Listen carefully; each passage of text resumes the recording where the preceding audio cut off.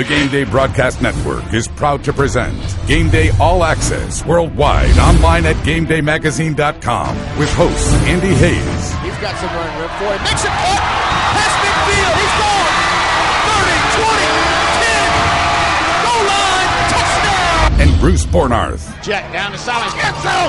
Touchdown. Game Day All Access is proudly presented by Integrated Sports Medicine and Physical Therapy. Get back in the game. The game of life. The game on the field. Manhattan Pizza. Now serving Ashburn, South Riding, and Leesburg with the best dang pizza in the world. By Max Muscle Sports Nutrition. Max Muscle. Partners in health. By Online Mental Trainer. Optimal Thinking. Champion Results. Visit ReadWriteTechnology.com. Verizon Wireless. The exclusive wireless network of the Game Day Broadcast Network. Game Day All Access. Become a Game Day MVP member today and never miss another big game. Phenom Strength and Conditioning, where athletes train to exceed expectations. You've now been granted a Game Day All Access Pass.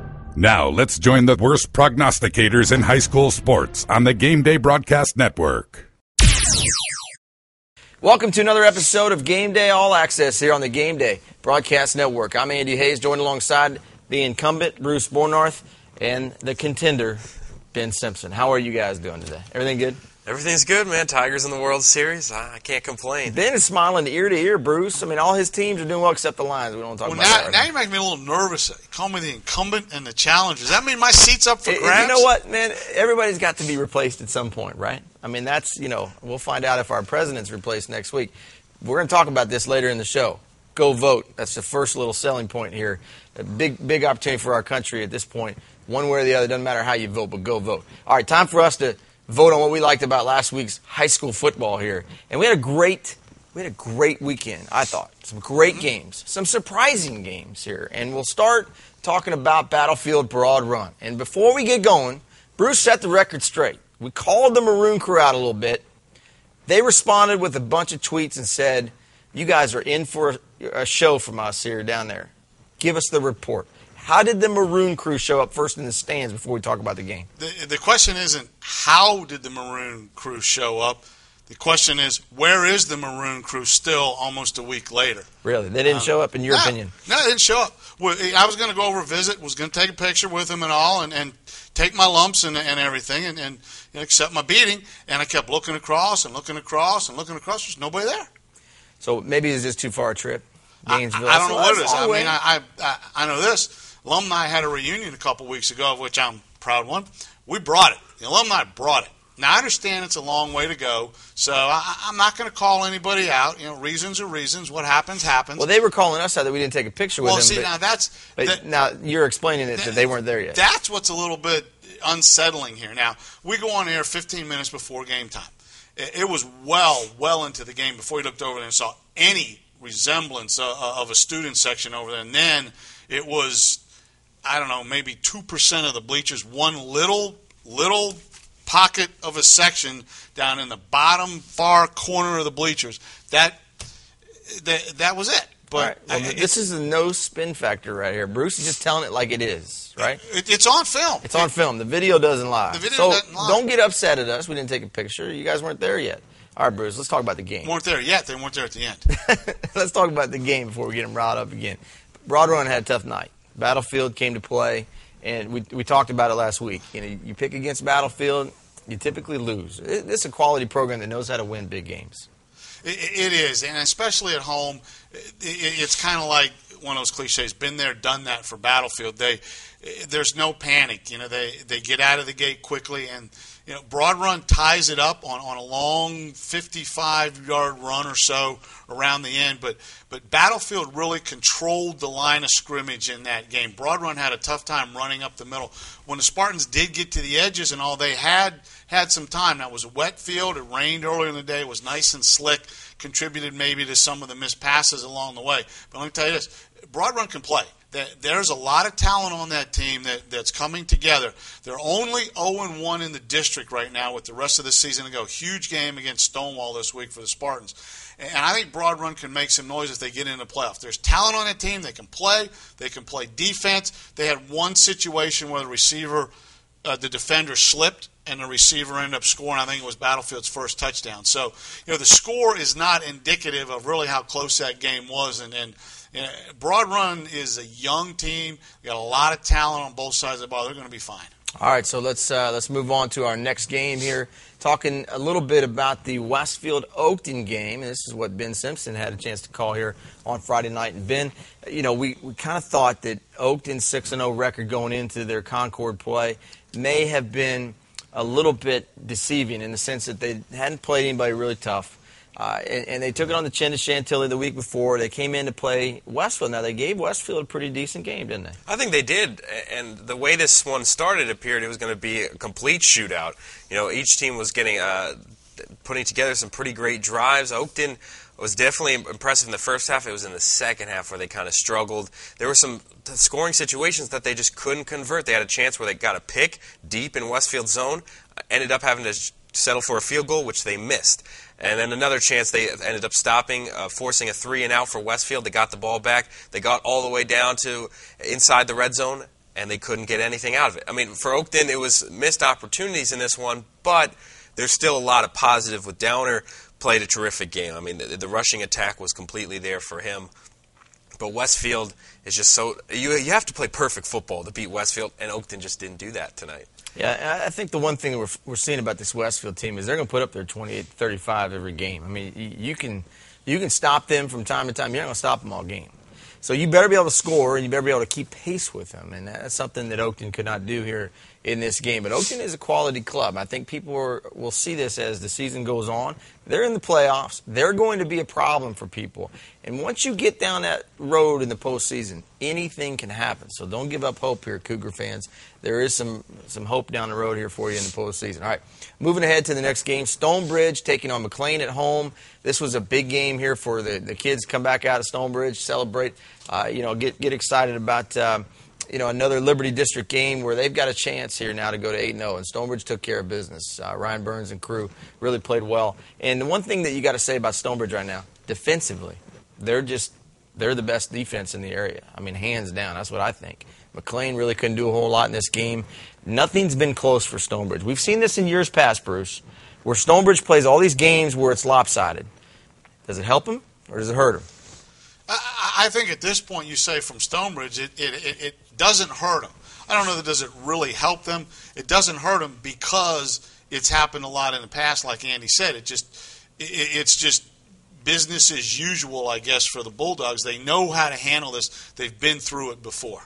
Ben, your thoughts on uh, you know now we set up this week here with Stonebridge Madison you know, Stonebridge looks like they're hitting on all cylinders, don't they? Yeah, and this is a perfect time for them to be doing that, especially heading into this game against a red hot Madison team who lost first game of the season. They've won every game since. So uh, for Stonebridge, if they're gonna if they're gonna keep playing the way they've been playing the past couple weeks, that'll serve them real well playing against Madison. Yeah, they need this game coming up. We're gonna talk more about that in Inside the Huddle. I think Stonebridge needs a test right now in this season. All right, moving on to Madison. Big win for Madison. Now they fell behind in this game to Fairfax.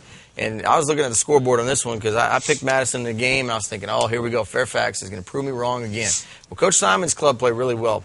Nick Scott had some great runs, one touchdown over 80 yards, one over 50, I think it was. And, and this young man has really had a great season. If you had a chance to see Nick Scott, you're lucky because he's a good player, and he's a lot of fun to watch here, especially on the replays here at GameDayMagazine.com. But the one thing you got to say about Madison, there's a little magic here with the Warhawks.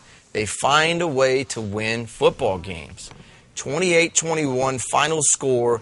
Lenny Schultz got to be up for Coach of the Year candidate here based on what he's done this year with this team. You lose to Oakton, as Ben said, you win seven straight games. There's not a hotter team in the state of Virginia right now than the Madison Warhawks. They're not doing it pretty, but they're doing it, Bruce, and that's a lot of times well, that's the only thing they're doing it and getting done. I wouldn't, you know, jump up for joy and say how hot they are. But what is impressive about Madison this year that we haven't seen, I don't think, in years past. If, I, if the scoreboard was right, and why question the game day scoreboard? It's always right. One of the scores I saw was 21-14 Fairfax, which means Madison doubled up to 28, scored the last two touchdowns to go ahead and win that game. We haven't seen that often enough out of Madison in the past, and, and that's that's that resilience late in the game, come back and finish. We've seen the Warhawks start off early, but when it's all said and done, it's the same old story. They they don't find a way to win, or they don't have enough at the end. I think that's the difference this year, and that's why they are so high. They can Yeah. finish now. They're they're taking care of business when it matters down the stretch. And Madison at seven and one. What a great story here. Warhawks in position to knock off the Bulldogs and win the Liberty District. That could happen this week. They're the only team now to ever beat Stonebridge. We'll talk about it here in a little bit. All right, let's move on to the next ball game here. And hey, it was Hylton in one of the great games we've had on the network in 2012. They were behind. Woodbridge had them on the ropes with 50 seconds left in the game. The Vikings kick it off to Hylton. They return the kick for a touchdown, Bruce, and Hylton holds on to win 20 to 15.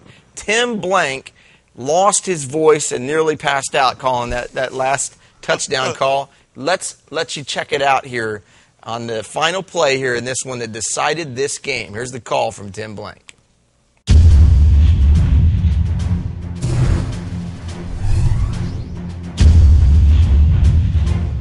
50 seconds left to go in this one.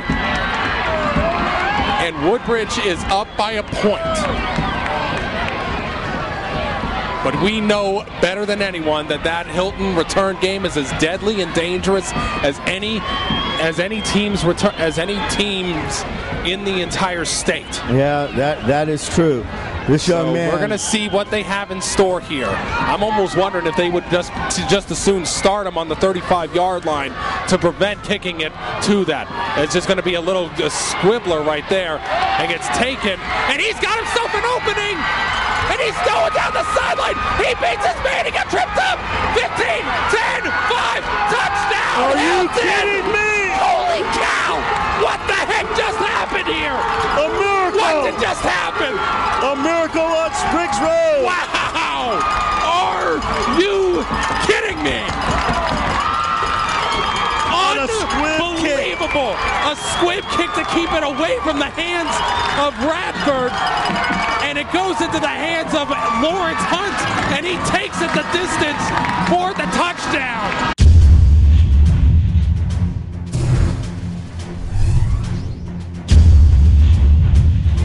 We've had some games like that ourselves. Ben, you, you know the same thing.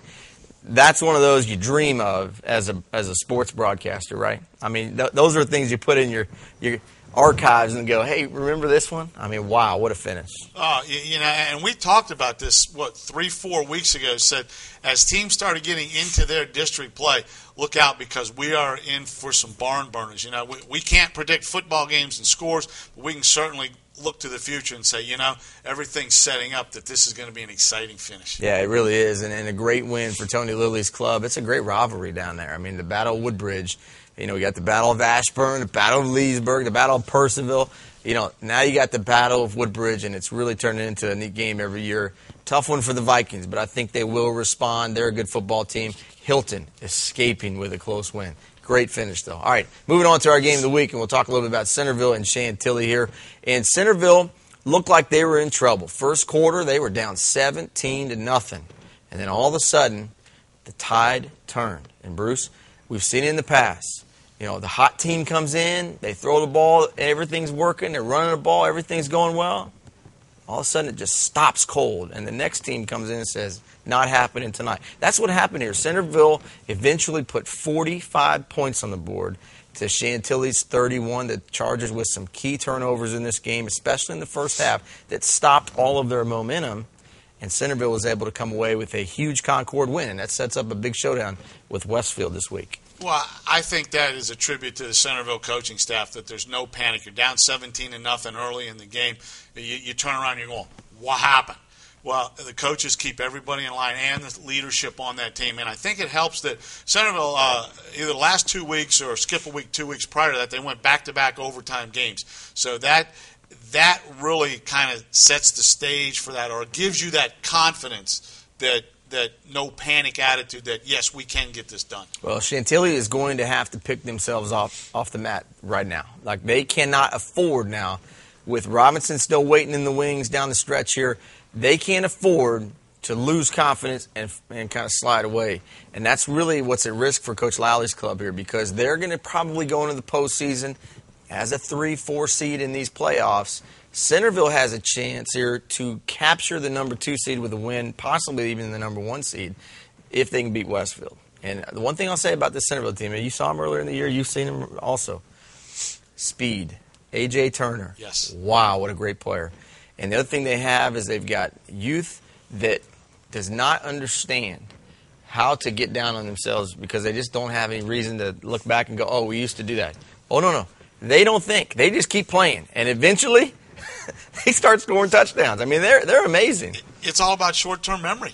It really is. You know, I mean, Yeah. you get the youth out there, and it's like, uh, what happened on the last play? I don't know. Let's just get on to the next one. they don't have a they don't have a long list, a laundry list of bad things that have happened in the past. The, the sophomore class at Centreville, and I'm I'm here to tell you now, these two guys have been bragging on for a couple weeks here. I'm with you. I'm a fan, and I'm gonna tell you, you're not going to want to see Centreville next year and the year after. Forget it. This will be the top team in the area over the next couple years, but they aren't waiting for next year. I, I think this week right here will be a telling week for how good this Centreville team can be because they're special. They've got some magic with them, and Coach Chris Haddock doing a great job down there with a lot of young kids. I mean, that's exciting stuff. We also had a chance to see the Wildcat Nation in the stands. I tell you, they're loving on game day.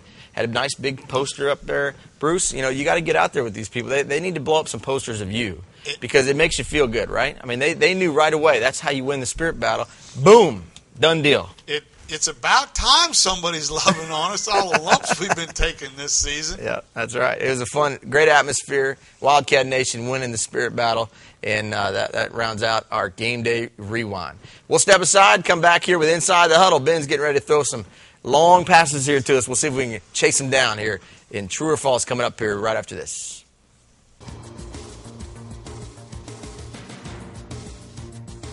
Hey Hayes, high school football's back. Who's going to be the best team in Ashburn? I don't know, Carl. I'm not touching that one either, buddy. That's highly controversial right now. Hey, didn't you win a Picks of the Week last year? Yeah, that's accurate, Carl. Hey, it's hard to be a champion. I'm working hard in the offseason here to repeat this fall. Hey, I heard a rumor that uh, your producer Helene is the one that wins that every year. You know what they say about rumors, Carl? Only some of them are true. So what's it going to take, Hayes, for you to defend your championship? Well, the thing is, Carl, only a select few have what it takes to be a champion, and the knowledge of how they get to that point is highly proprietary. I can't share that with you. Yeah, whatever. High school football fans don't miss Game Day All Access each week online at GameDayMagazine.com. Dive into the area's best storylines and break down the biggest games to get you ready for the Friday Night Lights. Game Day All Access, weekdays online at GameDayMagazine.com. There's only one Game Day.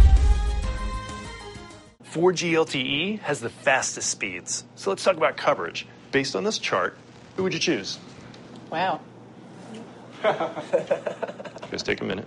Verizon, hands down. I'm going to show you guys another chart. Pretty obvious. I don't think color matters. Pretty obvious. What's pretty obvious about it? Verizon has the coverage. Verizon. Verizon. We're going to go to another chart. It doesn't really matter how you present it. I tell you what. It doesn't matter how you present it. Verizon. More 4G LTE E coverage than all other networks combined.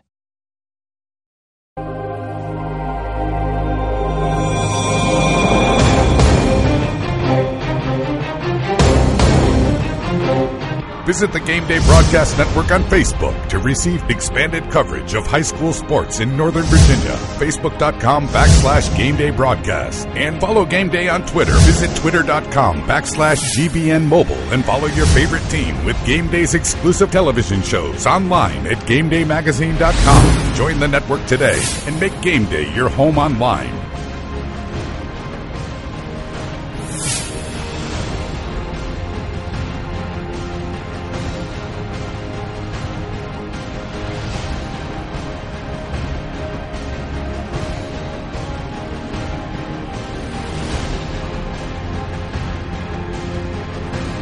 Welcome back to Game Day All Access. Andy Hayes alongside Bruce Bornarth, Ben Simpson here on the Game Day Broadcast Network. And uh, right now it's time for Inside the Huddle. And we're getting set to play a little true or false. Ben, you've created the questions this week. Yeah. I thought you did a nice job. Yeah, a little but- different twist on some things. I liked it. Yeah, just try to try to mix it up a little bit. Try to give Bruce some good questions. He, he talks sometimes each week. There's maybe not the right questions in there, so we got true or false. And Bruce, He's he's a little bit of a complainer. yeah, he You complains. know, just a he'll little probably bit. complain about your questions. Uh, well, this first one I know he's going to complain Yeah, about right off the bat. Let's let him start. I like South it. County, will they win the region? True or false? Start with you, Bruce. False. At best, South County is the number three seed in that region behind Stonebridge and Madison at this point. Madison, I can't believe I actually said that. Well, they won't be the three seed because Yorktown's still in the Well, no, seed. no, but no, but but But you're saying the third best team. I and you like- understand it. yeah, Yes, yeah. At, at, at very best, Right. You know, if you were ranking them and seeding them, who has the odds to win the region? In my mind, they're no better than third. This, this is a different Stonebridge team this year. And that's why this is a false statement here because South County caught Stonebridge in a year where they weren't quite what they've been in the past. Not the case this year.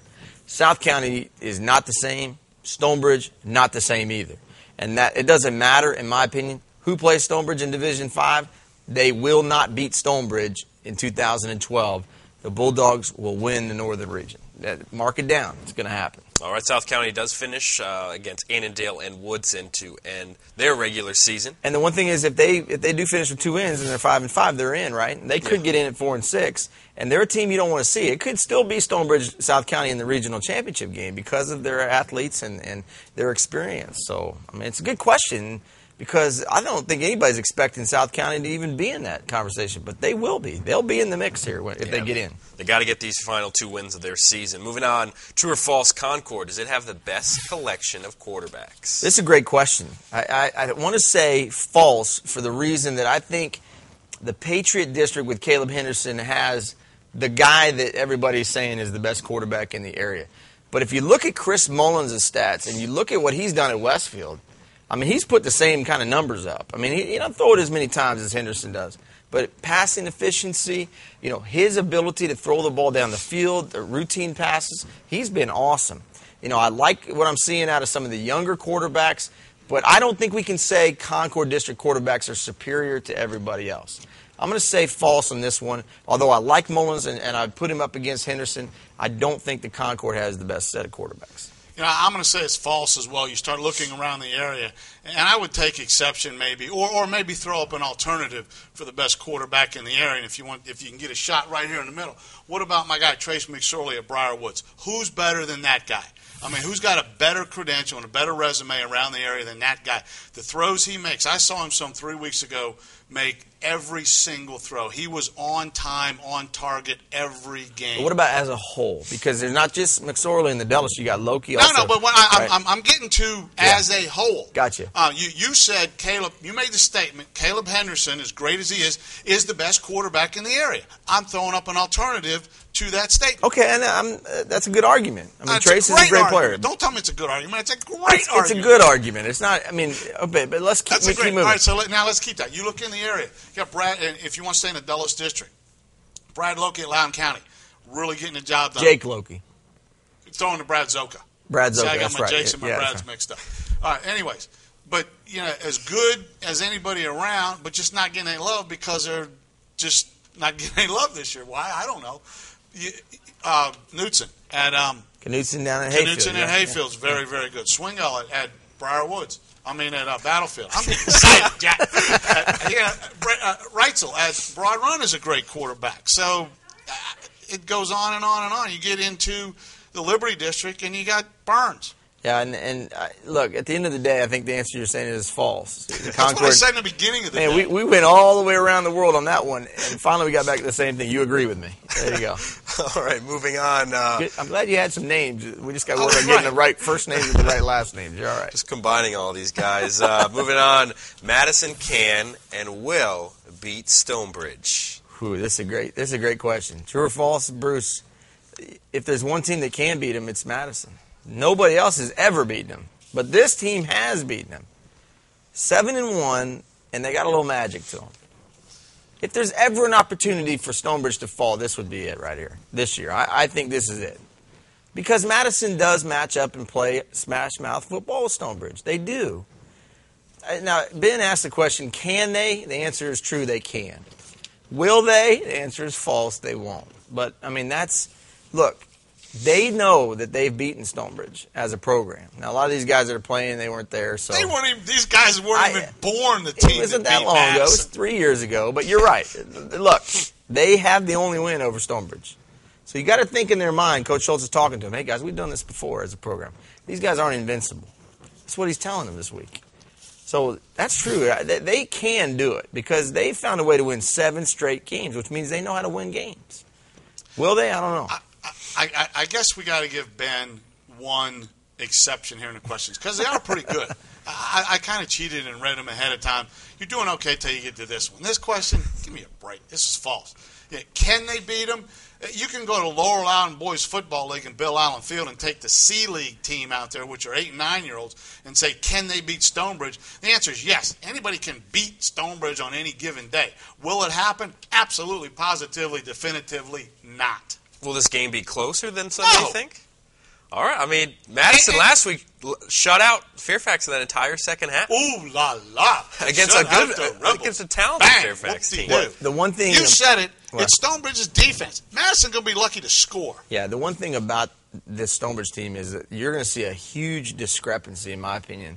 If they play their A game, Stonebridge comes to play, it's going to look like Stonebridge and then everybody else in the Liberty District. I mean, that's how they, that's how good they are. So that's how I would describe it to you. Is it going to be close? It could be if Stonebridge doesn't play well. And don't get me wrong, I'm picking Stonebridge to win the game. Right. I mean, I don't think that. I mean, uh, just for the purpose of the question, and It's as a great you mentioned, question. Madison was able to beat Stonebridge. I know Well, a few years. You can't ever underestimate the value of momentum, you know, and, and the belief that you have all of a sudden in your abilities when you've won seven straight and nobody's talking about you, nobody's giving you credit.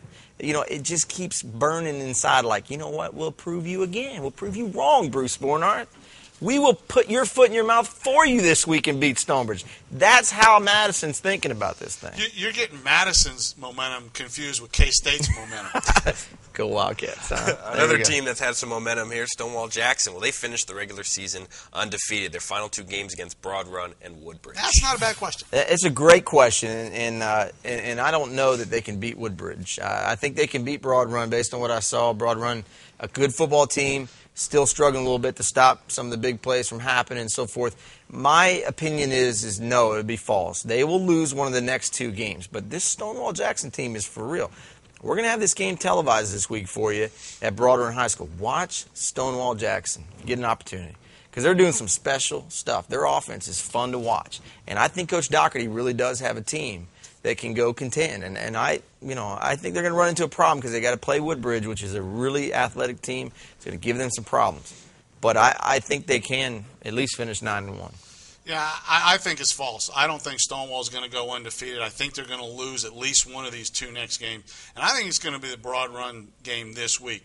Uh, You don't think I'm crazy? You look at the score last week. Was it 35 to 14? I think in the game we did against Battlefield. You look at the stats, and they're not real impressive. But if you watch the game and, and you know you kind of studied a little bit, and Broad Run had some chances, and I think they're going to get back in and correct those mistakes. And I wouldn't be surprised if Stonewall is maybe kind of looking ahead more so about that undefeated season against Woodbridge at the end and not really focusing on this team. Stonewall hasn't been here in a long, long, long time in this kind of position. And I think this is the week that Broad Run gets things corrected and comes back and, and kind of shows people who they are. Let's not forget, Spartans have only lost one game in the district, and they still kind of control their fate. They got a chance to, to at least clinch a share of the title this week if they can beat Stonewall. And again, getting back to Stonebridge here for the next question. Uh, is the Liberty District underhyped? We talk so much about the Concord District. The Liberty District has kind of flown a little bit under the radar, besides Stonebridge, of course, who we're talking about every single week. But is that district underhyped? Uh, this year it is. I think it is a little underhyped. It's true that that's a, a true statement. I, I, you know, I, I give Coach Thompson and the guys a hard time at Stonebridge all the time about the way that the Liberty District has been in the past. It hasn't been very competitive, but you're starting to see a little change in that. Langley's been better. Fairfax is much better. Kevin Simons is doing a great job down there. Madison, look what they're doing in year two under Lenny Schultz. All of a sudden now they have three, four, five teams in this district. Thomas Jefferson with Ken Kincaid right on the verge of, of popping into the playoffs here if they can get a big win this week. McLean, a good football team. I think overall, the Liberty District is probably overlooked now a little bit as a quality district. And, and it's just because of the past. I, you know, in, in years past, it hasn't been very competitive. It's been Stonebridge and nobody else. There needs to be some new blood come into this deal and say, Stonebridge, you may get us here every now and then, but you're not going to get us every year. And that just hasn't happened. It's just been so top heavy, and that's why people kind of look at it as a bad district. But it's really not. It's not. I think it's. I think it's become one of the, the more consistent districts here throughout the northern region. Yeah, I, I, I think it's I think it's barely false. I think they're hyped right about where they are. You know, a lot of what Andy just said is true. The Liberty District is getting better. These teams are getting more and more competitive. You look at some of the games within the district, some of these games outside the district, and I think the barometer may be how's the Liberty District do against the Concord District. And I think we're seeing more competitive games. We're seeing better teams. We're seeing better coaching throughout the Liberty District. Here's the problem as everybody else in the district is getting better. As Andy said a few minutes ago, Stonebridge is up here, and here's the rest of the district. Well, as the rest of the district is getting better, Stonebridge is getting that much better also this year. So the separation, I think, hasn't changed. In fact, I think Stonebridge separates themselves a little more so this year than they have in years past. It doesn't mean that the rest of the district is not getting better. I love how he can say barely false, right? He comes up with these answers that are kind of like, well, kind of. You know, I mean, well, seriously, the master of the spin. You give Bill O'Reilly a, a, run for his money. All right, final true or false question here, guys. Uh, Thunder Alley, the Chantilly Chargers little pregame ritual. Is it the best pregame ritual by a team? True well, Bruce, Bruce is just hardcore to answer this one right away. Go ahead, Bruce. What do you got? Ben, my buddy, I love this question. Now, see, this is the kind of question we should have in off defense. And it's called off defense. That was our radio show ten we, years ago. We, we, got inside the huddle, whatever this is. We got so many different games we play, and you know what? They're all basically the same. I didn't tell you that, but anyway, look, I, th- this is a great question, and the answer to this question is definitively false. Let me jump right off of the fence. You want to talk about the best pregame hype in the world? Let's go up to Sherando and Traveler, Scout, Hank, Popeye, whatever the guy horse's name up there. You got Sherando gets up on those stairs. They got like I don't know four levels or three levels of stairs coming out of a big, huge landing in the middle, and the team comes down and down and down. And the next thing you know, here comes Hank. Hank. Is Hank the name of the horse? Hank. I like Traveler. I like Traveler better. All right, so here comes Traveler and a painted up engine on that thing riding out onto the field, and boom, drops that spear like Florida State in the middle. You tell me where's better than that. Yeah, I mean, uh, but I'll say Thunder Alley's pretty good. I mean, I, the one thing I'll say that's different about Thunder Alley is the the fans go nuts at Chantilly when they kick that music on and they see the smoke start coming out and then they start hearing thunderstruck and all of a sudden their team starts walking down that I mean that's pretty special stuff. Now when they're good, when Chantilly's good and that crowd is like it should be over there and it's jammed, it's goosebumps. That that's what it is. So I'm going to say Chantilly number 1, Sherando number 2 as far as atmosphere because the way the team makes the entrance you know, they kind of come through the smoke and everybody's jumping up and down. I mean, it's. Buddy, right, I'm tell you, it's can awesome. I give an honorable mention because it doesn't exist anymore? And, and I'm going to go out on a limb and say I think you're going to agree with me. Okay. At Broad Run, when the Maroon Crew used to be in the end zone, yes, and you had yes. to come between those bleachers with the smoke machine and that huge banner that yeah. they came through. It doesn't it doesn't happen, doesn't exist anymore. But that and that's was a as shame. good as any. That's a shame because that atmosphere that was building right there in the end I zone. You agree with that? I mean, oh, as good as uh, any. Listen, in the 2007 game between Broad Run and Parkview that you and oh, I called goodness. together. That atmosphere was second to none in this area in Loudoun County. And I'll tell you, I think the worst thing that ever happened was the, the bleachers are no longer allowed to be in the end zone. I, you know, whether, whatever, whatever you have to do, fasten them in the ground, whatever you have to do, get them back because that, I thought that kind of encouraged more school spirit from the Broad Run kids, and, and they were building something there. That, that was incredible. It really was. I'm, I agree with you on that. It's not around now, but that was becoming a great tradition. The team, matter of fact, the visiting team would walk through there. And remember, they were letting them have it. I mean, it was awesome. It was a great atmosphere. I remember it got to the point where visiting teams would go around the Yeah. bleachers instead of going in between them. They You're just right. split up and kind You're of right. go around them. You know, the, the only other one that I would say is pretty cool, and this uh, takes me back in the day at Westfield when Mike Glennon was there. They used to walk all the way from the, the building, Yeah. and the crowd would all be focused on them walking down. It's a good hike. It's a good 200 yards from the building. And they could start, you know, hear Ludendist or the uh, the PA man start talking about here come the Bulldogs, and everybody would turn around. I mean, that that was pretty cool too. So we have some great traditions, but I'm going to put Thunder Alley as number one up there here, in my opinion. So that's good stuff. Way to go, Ben, on the questions, and that takes us into our spirit battle this week. Bruce, the spirit battle is on. Okay, it's Centreville and the Wildcat Nation taking on Westfield and the Dog Pound. Now, there, there's some talk out there already that this won't be close, that the Dog Pound is going to crush the Wildcat Nation in the spirit battle. But understand one thing Centreville has great school spirit. I saw it last week. They were jammed in the stands way before Chantilly was. And they were they're doing their whiteout. They had a big sheet they held up when Chantilly came running out to cover their eyes. Nobody wanted to see them. They, they brought it. They had some great stuff. So why do you think that, that they would not have a shot this week? What do you think? Well, let me ask you a question.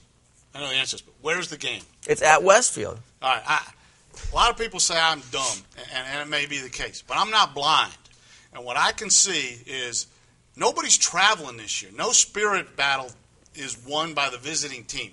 None of these schools and none of these student bodies across the board are traveling. Now, I don't count going across the street to play your rival as traveling.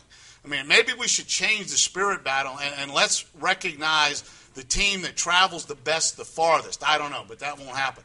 But having said all of that, this game is literally almost right across the street for Centreville.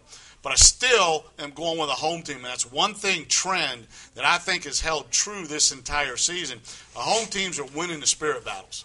You know, Ben, I, th- I think Bruce has a point. We are seeing a little bit less traveling from the student sections in, in 2012 than we did Yeah. a year ago and year before. Don't know why. I guess it's just not fun to hop in a car and drive. But at the end of the day, do you feel like Centreville will show up here in this spirit battle? What do you think? I, I think they're going to show up, and I think they're going to. But I'm still picking the dog pound here in this one. I, I like what they did last week in the game that I I did for Westfield. They. Uh, Oakton, of course, were in their togas. They had a co- Coliseum thing across the way. I don't know what that was going on. They, but over for Westfield, they had uh, they were all in their pink shirts because of Breast Cancer Awareness Month. And then uh, right before the game, certain they had picked out certain kids in the crowd to spell out a W. They all ripped off the pink shirts. They had black shirts on underneath. We couldn't get it on camera, but uh, that was pretty cool. I'm, I'll admit that. And, and Westfield fans are just great. I mean, the dog pound. Centreville at home, I would put them up. The, no visitor team's going to beat Centreville at home, but West, but Westfield at home, same thing. I mean, I think they win the spirit battle. But I got to tell you now, last year for the Northern Region Championship game, that was a draw. I mean, Centreville packed that place. I Playoff mean, game, you can't count playoff. I, but I mean, this is a championship game, and there were probably 10,000 people there. But there was nowhere to sit on the other side. Now, that's all I'm going to say to you, Centreville. You want to win the spirit battle this week? That's the way it has to be. This is a huge game. This is for the Concord District Championship right here. Your team has a chance to defend its title, right? Westfield has a chance to defend its title. Centreville has a chance to claim a share. They didn't get it last year because they lost at home, right? So I mis- mistakenly said that. But the fact of the matter is, is Centreville brought the school spirit to Westfield last year as well as I've ever seen. Even better than the Chantilly time that we, we talk about all the time. So mm-hmm. I, I'm not counting out the Wildcat Nation here. They had the powder. They had the they had the flour, which has now been banned by Fairfax County Public Schools, which it should have been because who wants that? It was their- cool once. In there, I mean, I went over there and, and I had flour all over me last time I did a stand up with these guys. Look, here's the deal, Bruce. Before I make my pick with you, you know the Wildcat Nation showed me some love last week and game day some love, and we really truly appreciate that. The Dog Pound has kind of been a little bit contentious with us this year. They've been a little upset, and it's for for this reason. We've called them out a little bit and said, ah, they're not going to win. We've just been kind of seeing if they're going to travel. Now, I'm going to make one exception to your little rule there. The one student section that has traveled has been Westfield. They don't have to this week. The whole home side will be jammed with Westfield students. This will be the big showing, in my opinion, of school spirit. Centreville is going to have to bring it beyond our even imagination here to win this. I'm taking the dog pound. The dog pound, I told you were, they were my favorite a couple weeks ago. They've had the best school spirit across the board as a whole all season long, and that will continue here on Friday night. Something real quick, a uh, uh, serious uh, editorial note here about Westfield, and, and it's something that, that Ben said when he talked about them in their in their pink shirts for the Breast Awareness Week. You know, a lot of causes are supported in the area by the schools, and rightfully and gratefully so. And, and many, many thanks to the people that benefit from those. But I'm going to tell you what, nobody supports a cause visually. Now, now, now, don't don't get me wrong and don't hammer me because a lot of places probably equal the funds and, and whatever the work and support of them. But nobody visually supports a cause like the Westfield student body. I'm talking about wearing the pink. Whatever the cause is, you know that Westfield represents it and is behind it. And I think that's a credit and thank you guys. Yeah, we had some great, uh, great pictures here from last week. That's it for Inside the Huddle. We'll step aside for a quick break here and come back with our picks of the week right after this. 4G LTE E has the fastest speeds. So let's talk about coverage. Based on this chart, who would you choose? Wow. Guys, take a minute. Verizon, hands down. I'm going to show you guys another chart. Pretty obvious. I don't think color matters. Pretty obvious. What's pretty obvious about it? Verizon has the coverage. Verizon. Verizon. We're going to go to another chart. It doesn't really matter how you present it. I tell you what. It doesn't matter how you present it. Verizon. More 4G LTE coverage than all other networks combined. Trust is one of those things that's earned, and at Max Muscle, we're really very concerned about the relationship we have with individuals, whether they're the student athlete, their parents, coaches, um, administrators, because we take very seriously that commitment to children. What we're doing is saying, help your student, your athlete, your coach, your parent become healthier. And our message is about nutrition, and you know, fundamentally, it's about eating. Stop in and talk with us. We're definitely going to talk a lot about it, nutrition. We want to educate the student, the athlete, the parent, answer any questions, and get that athlete started on the road to success. Find a Max Muscle Sports Nutrition store near you or online at maxmuscle.com. Welcome back here to Game Day All Access. I'm Andy Hayes, joined alongside Bruce Bornarth, Ben Simpson. Time now for our picks of the week. Bruce Bornarth is chasing me down here in the picks. Eight and two last week, or were you seven and Seven three? three. I was nine and one, but we're all chasing Chris Barassa. At this point, the man is out there on, a, on an island by himself. So congrats to Coach Barassa. He's whipping our tail. Now, our producer, Helene Shane, who has been tied with me the entire year, near the top, had a tough week last week. Bet with her heart, not her mind, lost four games. So we're kind of all, you know, having a little sympathy for Helene. She's got a problem. She's only got a couple weeks left here, Bruce. What do you think, man? You got a chance to catch us or what? I, I got one word for you when it comes to Barassa simulator. he said that on the air last week, by the way. he did agree. He did admit to that. Ben, you're you're kind of hanging around, hanging Yeah. around, but it's it's not looking. good. I wouldn't bet against Helene though. I think. You I think she's gonna come I- back? I think she'll come back. Four game deficit going into this week's picks. Let's go ahead and get started. First game we're going to talk about is a big one in the Concord District. Two teams that need to get into the playoffs with some momentum, and they've been having a hard time getting that going here the last few weeks. Robinson and Oakton. Robinson heading down to Oakton High School here on Friday night. And this is a game where you're going to see a great running game from Robinson and a, and a team that has a great quarterback in Oakton that can do it in, in all different ways. Mike Wandy also having a great season. Uh, the question here is defense, in my opinion. Right? Who's going to stop who? Bruce, who do you like? Robinson's going to love this pick because I'm going to take Oakton. What else is there? You just you can't pick Robinson anymore. Can't can you? do it. It's against your grain. Just can't do it. All right. Well, I'm picking Robinson. I don't think Oakton can stop Joe Wilson. I mean, they uh, Uh, when Robinson played a team like Westfield, when they played these other teams that has better defensive lines, Wilson struggled a little bit. But against Oakton, I- I think this is a no-brainer. I think Robinson's going to be able to win this game. That's a, that's a bold pick. I mean, you're going to Oakton. Yeah. saying that Robinson is going to get the win. The one thing that concerned me about Robinson two weeks ago is they couldn't stop the pass. They couldn't stop, you know, Lake Braddock. Lake Braddock had their way, and they couldn't run the ball in Lake Braddock. And I think Oakton is, is as good as Lake Braddock in a lot of ways, both sides of the ball. So I'm going to take the Oakton Cougars here. I think Oakton rebounds and they get a big Concord win. Moving on to the next game. This is a close one here, Bruce. Langley and Fairfax. This could be a thriller. This could be a triple overtime game. That's the way I look at it. Who you like? I was getting ready to say that this game is a candidate for game of the week when it's all said and done. There's always those couple of games. It seems to be this season that you look back on the, on the week's games and there's a game or two that are just wow. You know, you wish you'd have been at that game. And I think this may end up being one of those games. Like what Fairfax is doing. You know, last week they had that lead. They lost what may be in their minds a heartbreaker. Uh, in the second half of that game, Langley, I said in the beginning of the season, was one of my picks to watch them as the most improved team or surprise team of the season.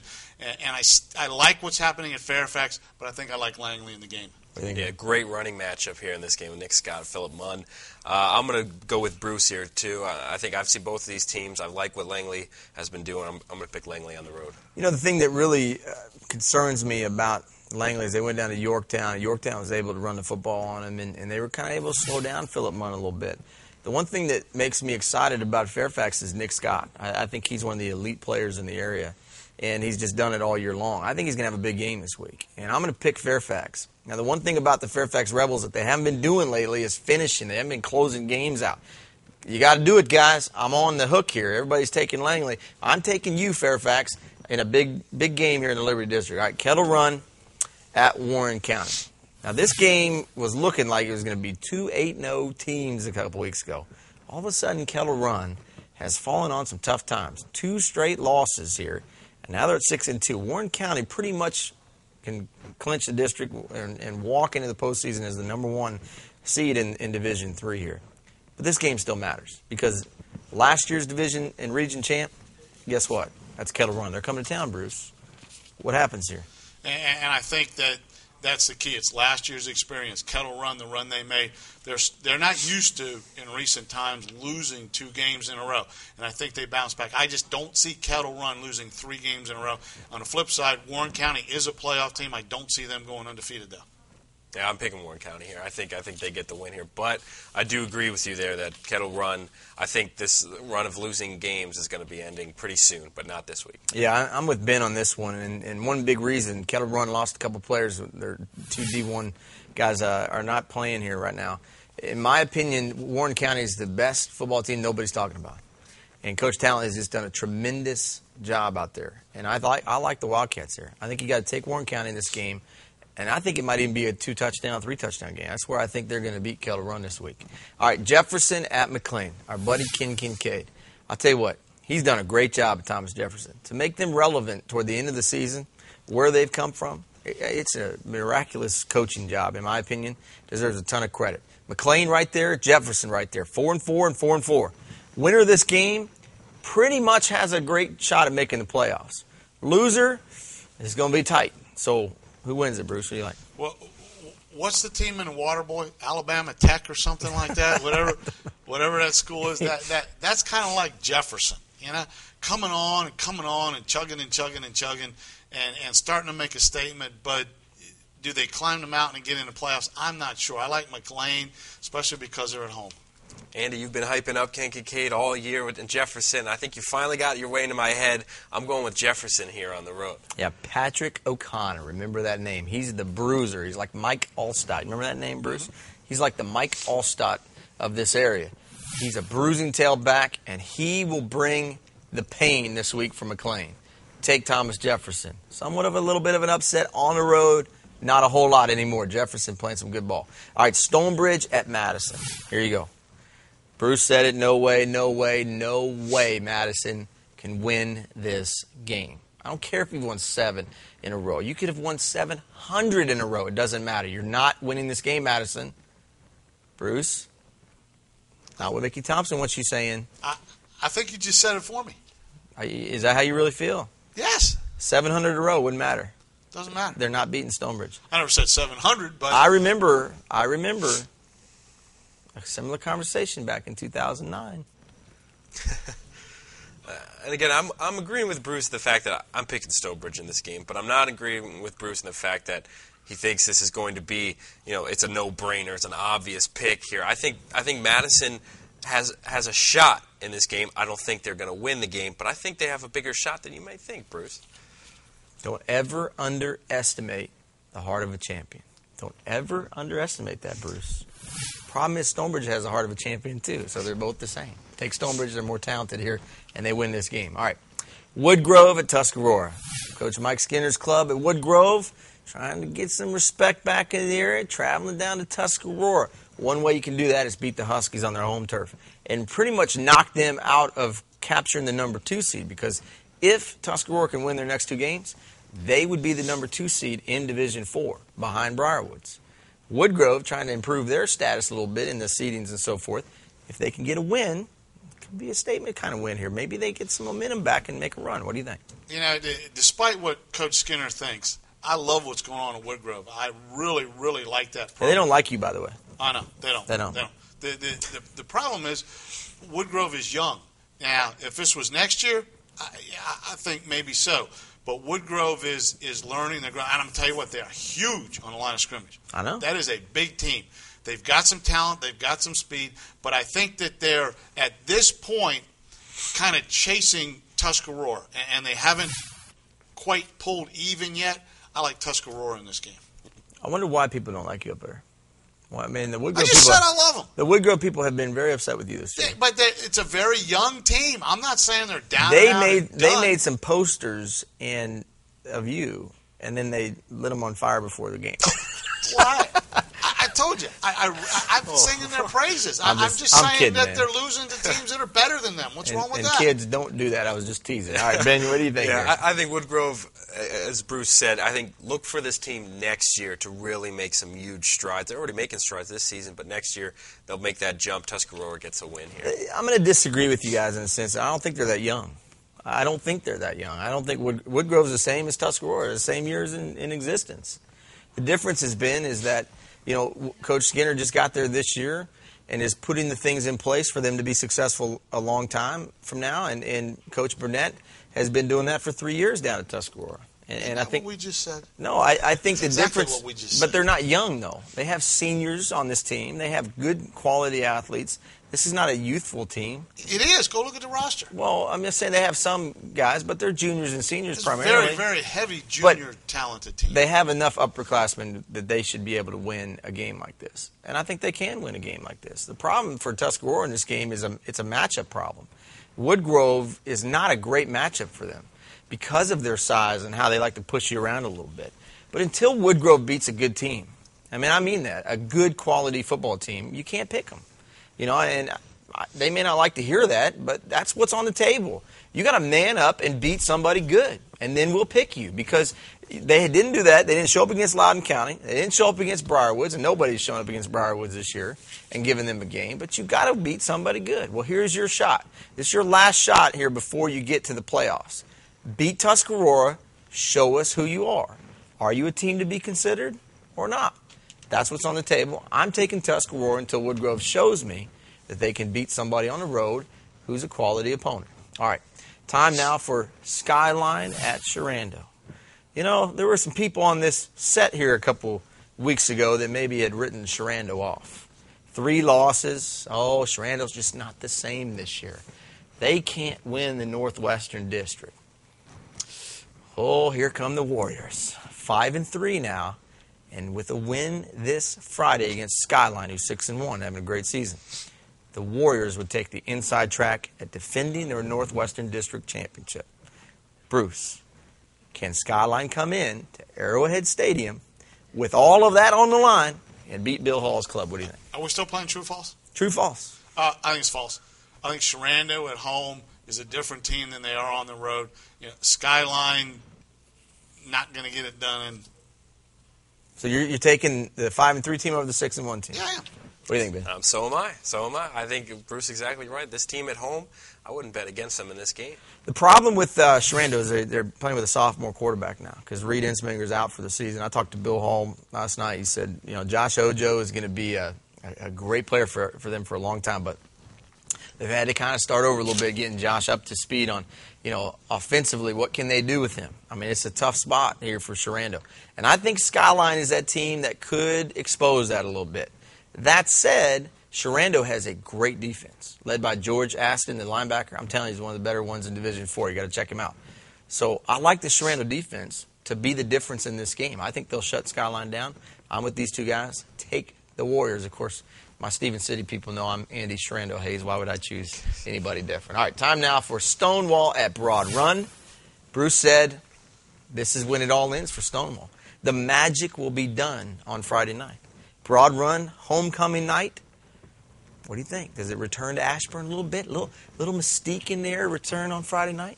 I think the Maroon Crew is back in force for homecoming weekend. Andy's theme of magic season this year, I think the magic kind of ends a little bit this week for Stonewall. I again, I wouldn't be surprised if Stonewall is maybe looking ahead at the Woodbridge game and kind of maybe underrating Broad Run a little bit or underestimating Broad Run a little bit based on last weekend and the games leading up to that. But I really like what I saw last week in Broad Run, even in that loss, even down what two, three touchdowns in that game when it was finally over. Right.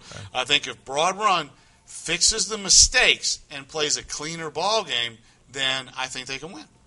I like when our picks are a little different here. It's been a little different week, and, and I'm going the other way. I'm going with with Stonewall here. I think uh, I think they're not looking ahead of Broad Run. I don't think. I think they're definitely going to be uh, preparing the preparing for Broad Run just as they will be preparing for Woodgrove next week. And I think Stonewall can, while Broad Run's going to bring the the fans are going to be out there as you mentioned, homecoming. But uh, I think Stonewall is a, the better football team in this matchup. So I'm, I'm picking Stonewall. Ben, you said it. They are better. And they beat the team that beat Broad Run 35 14. Bruce, you can't look past it. Okay? For Stonewall to go into Battlefield and beat them that way, to go up against Battlefield, who's been the team to beat in Division 6, that says all I need to know.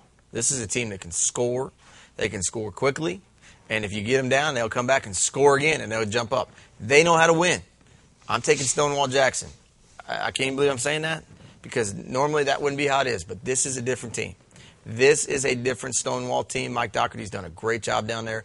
This is the team that's going to beat Broad Run on Friday night. Now we move to North Stafford at Battlefield. This is a great game. 7 1 North Stafford coming into Battlefield, who's 6 and 2. In Battlefield, this is a non district game here, so it doesn't hurt them for the Cedar run. But you don't want to drop this one, though you know, because then you're, you're possibly losing some seeding here in the postseason with your record and so forth. So it's an important game. Battlefield won this last year, 27-13. You like them to win again? Yeah, yeah I do. And, and, and, it's not maybe because of, of the, the arm of Ryan Swingell and the way he played last week. He was really on target last week. He had a really good game throwing the football. But the way that Battlefield controlled the line of scrimmage and took the run and the inside between the tackles away from broad run, I like that. I like Battlefield's defense to get it done. And as, as the stats guy, I will definitely agree with Bruce completely. Swingle last week, 16 for 19, 242 passing yards. He threw for a touchdown, also rushed for a couple. He was terrific in that game. And I think also he'll be terrific in this game. I think Battlefield gets the win. You know, I was looking at the records of all the teams that North Stafford has played this year, and the one team they played with a winning record they lost to. Everybody else has been near 500 or below, and they've won those games. Well, now they're going to see Battlefield, and they're a good quality club. I don't bet against the Bobcats at home. Not happening. Take take Battlefield. And now we get to the game of the week. The the rematch of last year's Northern Region Championship game. The rematch of probably one of the most hyped regular season games in, in a lot of years for us over the past, what do you say, six, seven broadcast seasons. These two games a year ago were classics. Now we roll into the 2012 meeting. Centreville comes in with a group of guys that they were standing on the sideline last year watching us. They were cheering like Bruce and I. They were fans. They weren't in this one. Westfield's got the same thing. All their guys graduated too. But they got it at home. And they're 8 0. Centreville 6 and 2. Something's got to give, right? You're counting out Centreville in this game. I know you are. This is like like ping pong. You know, you go back to last year. Who won the last game? Centreville, in dramatic fashion in the end, knocked Westfield out of the playoffs. You don't think the Bulldogs are remembering that? It, it, it's payback time. This this means seeding for the playoffs. This means undefeated possible season for Westfield. I don't think the Bulldogs let that slip away. Yeah, I think that loss last year is still burned in the mind of every single Bulldog fan. Even the guys who weren't, as you mentioned, weren't on the field for that game, they still uh, felt it just as you know in the locker room and as being a member of that team. And I think Westfield they get their revenge here, and they uh, they put the hurt on Centreville this week. Even the guys that didn't play a ton last year, they were mad. for Westfield. I mean, they, they were upset. And I'm to tell you, Bruce, you're right about this. They've been waiting for this game. I'm telling you, Centreville better get ready because Westfield is going to hit you in the mouth from start to finish. And this one matters. May not make a huge difference in the big picture as far as seating and so forth, PowerPoints, whatever, but it is going to matter to the kids in black and gold. Remember a couple years ago, this was back in 06, when Westfield lost on their home field in the Northern Region Championship game to Chantilly. You remember that? Yes. The next opportunity they had to play Chantilly, Mike Glennon and crew came back, and they, they got after him and won that game at home. One of the great atmospheres we've ever seen at Westfield High School. It's going to be the same way here on Friday night. The atmosphere will be unbelievable. The game will be heated. Trust me on this. Westfield wins this game at home based on the play of their offensive line up front. It's not that I don't believe in you, Centreville, but you're going to see a team that will punch you in the mouth for four quarters, and they're not going to let up. You're not going to have that opening like you had last week against Chantilly where you can come back. And Centreville has typically fallen behind a little bit here this year and then rallied. Not going to happen this week. Take the Bulldogs. And that does it for our picks of the week. We're back right after the top 10 plays here. Playbook. Well, I don't think they like Burns getting sacked like that, so they probably want to come out and try that again with some quick passes. And there is that quick pass to Yarbrough, who makes a spin move, keeps running, and he is going to go for that touchdown we were talking about. Big play by Deontay Yarbrough. Took a 10 yard spin move off of a pass and took it the rest of the way. 62 yards for a Stonebridge touchdown. Fullback, halfback behind Black. He has a man to the far side, out wide to his left, but he's going to hand it off to Scott. Scott to the right side. Scott's gone. He is gone down the sideline. He's at the 50. He's at the 40. Nobody's going to catch him. That's why you can't give him room. Nick Scott to the house, 81 yards, touchdown Fairfax. Burns hands off to Daly. Daly goes off tackle, finds some room, shaking base, goes down the middle. Daly's going to take it all the way on the second play from scrimmage. It's a Stonebridge touchdown. Second down at seven. Romine again sends DeAndre Harris to the right. One back in the backfield. Now he'll step back to throw, looking for a man down the field, and it's caught inside the 30 to the 20. Ray Sean Smith, touchdown, Chantilly. Empty backfield for Majette. Motion by Farrar. There's a snap. There's the reverse, and it's a flea flicker reverse.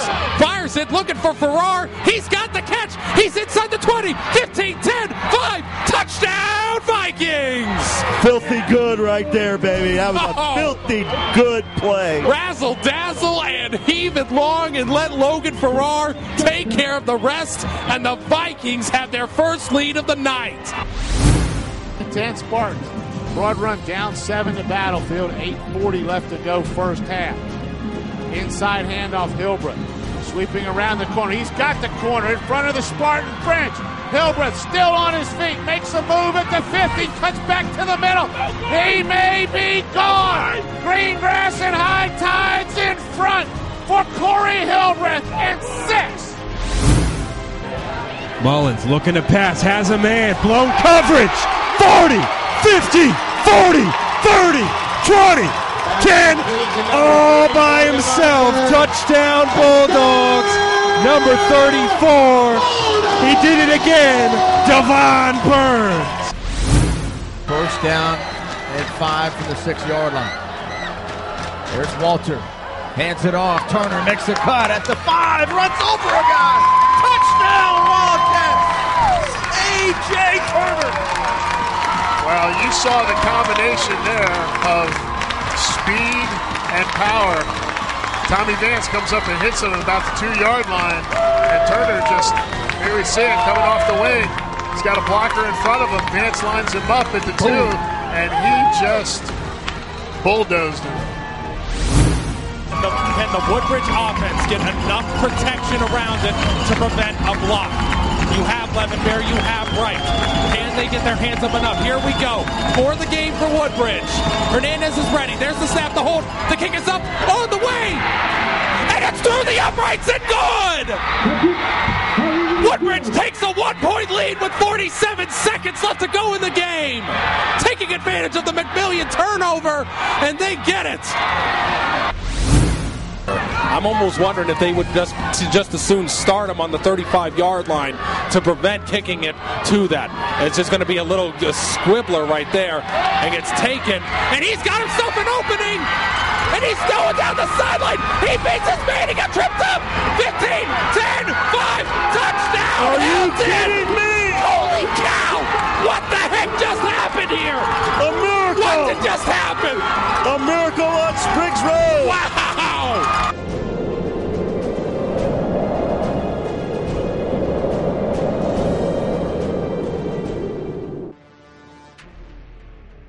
Back here on Game Day All Access. Time now to take a look here at the Week 10 Power Poll as we look back at last week's action and talk about the changes here. Let's throw up on the screen the top 10 for this week here as we take a look at our best 10 here in the area. Stonebridge at 1, Westfield followed them at 2, Briar Woods still at 3. Those three have held serve for most of the season. Stonewall Jackson makes their first appearance in the top 5 here with the number 4 spot. Hylton moves up to 5, followed by Yorktown, Lake Braddock at 7, Centreville into the top 10 as well at number 8, and Madison at 9. They move up one spot after their seventh consecutive win, and Warren County comes in at number 10 here. Guys, some thoughts on this one. Madison, seven straight wins, only at 9. Are we not buying into what, what they're doing? What do you think? Uh, I think so. I, I think Madison maybe deserves a little bit more love than Hylton jumping right back into the poll that high up. I, I question that you said it during the show. Hylton struggled a little bit. They're winning the games, Right. But they're struggling. Look at Madison. I, I, I, I can't believe I'm giving all this love to Madison this week. I think Miss Madison deserves to be higher. Yeah, what do you think, Ben? I mean, that- and, and who else stands out to you? Centreville with two losses at number 8. They're above Madison with one loss. You like yeah, that? Yeah, no, I, I definitely, I definitely, Matt, as Bruce said, Madison definitely needs to be higher in this poll, and, and Centreville, I think schedule, uh, conference schedule alone is a big reason why they're in this top ten too. And but they got a big game against Westfield this week, as does Madison against Stonebridge. That that might change things up a little. You know, one team making their way back up to the top of the ladder is Lake Braddock, right? And they had a couple tough losses early, Centreville, Westfield, but now we're seeing Centreville, Westfield, two of the better teams in the area. And Lake Braddock hasn't dropped a game since, so now you're starting to see Lake Braddock maybe gain a little bit more respect. They're number seven. The one team I have a question mark on is Yorktown, and our power poll guru Thomas Emmerich is not here today. We had a chance to talk to him about this, but six in the in the power poll this week for Yorktown. They're undefeated. Coach Hanson doing a great job down there at Yorktown. But who have they beaten? That's my big question to you. You know, who have they gone on the road? They did beat Langley, who we like.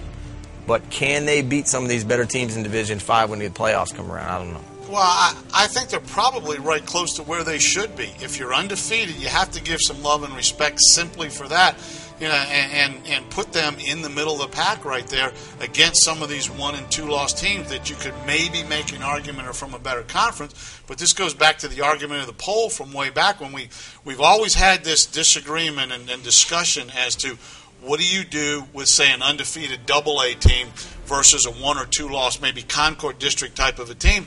And I think the the, the poll is you can explain a lot better to me that it's not necessarily the best teams one through ten who could beat who. Are there teams lower in the poll that probably would be favored against maybe undefeated teams higher in the poll, AAA versus AA? Yes, but that's not really what the poll's about. Well, it's kind of like the top 25 in college football. I mean, I, I don't think you have to go very far to see an example. I mean, you see the Boise States and the, you know, TCU's and those in, in years past when they weren't in big conferences, you know, being ranked in the top 10, where a lot of people thought, well, there's no way they can line up against a quality opponent and, win those games. Well, they've shown, that, you know, everybody can win one of those games. You know, can you win all of them consistently? Ah, you know, probably not here. I think the difference is when, when you take a, a, with all due respect, a Yorktown team or Liberty District team or a Double A team that's undefeated, they fall a lot harder with that first loss than some of the other teams. Right now in this poll, we have six undefeated teams. Our top four teams are undefeated. Our sixth team in the poll is undefeated, and our tenth team in the poll in Warren County is undefeated. Any of those teams falling this week? Anybody dropping down? You, you already picked I Broad got Run and Warren said. County going down. I got Broad Run winning over Stonewall. So you think we're going to be down to a couple less here this week? What do you think, Ben? I think it's going to stay pretty much the same because I, I picked Stonewall winning that game. Uh, I think I picked against Warren County, uh, so that might be the only only one I could see changing. Any any chance Westfield on upset alert this week with Centreville? That would blow up the top three, and they've been there all year. What do you think? Uh, yeah, they're always on. You know, anytime anybody's playing anybody in the Concord district, it's been proven over the years that it's an upset alert week. Yeah, that'll be a great game to follow here. You know, Stonebridge has a chance, I think, to lock down number one in everybody's mind this week. You take down number, you know, nine Madison with seven straight wins, and you thump them, then we know there's no debate, right? Westfield's still trying to make a case. Yeah, we had one bad kind of off week defensively. Other than that, we've been awesome, and maybe they deserve after if they paced, you know, Centreville this week, maybe they would deserve some consideration for challenging Stonebridge if the Bulldogs would, were to struggle against Madison here for that number one spot. But uh, overall, our top ten, hey, it's uh, it's full of pretty good football teams. There should be some movement though, as we see some big games for all of them. Bruce, I kind of agree with you with Hylton at number five. They've moved up a little quicker, but I think it's just been based on the fact that teams behind them keep losing, and so they've been able to kind of jump over some folks. But uh, that does it here for our Game Day Power Poll talk this week. Hope you enjoyed it. We'll see you next time here on the Game Day Broadcast Network. This exclusive broadcast has been presented by Integrated Sports Medicine and Physical Therapy. Get back in the game. The game of life. The game on the field. Manhattan Pizza. Now serving Ashburn, South Riding, and Leesburg with the best dang pizza in the world. By Max Muscle Sports Nutrition. Max Muscle. Partners in health. By Online Mental Trainer. Optimal Thinking. Champion Results. Visit ReadWriteTechnology.com. Verizon Wireless. The exclusive wireless network of the Game Day Broadcast Network. Game Day All Access. Become a Game Day MVP member today and never miss another big game. Phenom Strength and Conditioning, where athletes train to exceed expectations. Any reproduction of today's events without the express written consent of Game Day Properties LLC is strictly prohibited. All rights reserved.